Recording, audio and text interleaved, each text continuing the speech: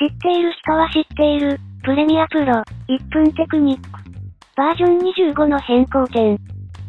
2024年10月14日、Adobe CC2025 が登場しました。個人的にいいと感じた変更点を紹介します。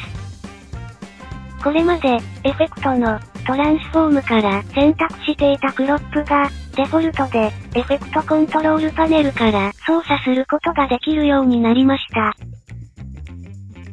わざわざエフェクトから適用する手間が減るので割と助かります。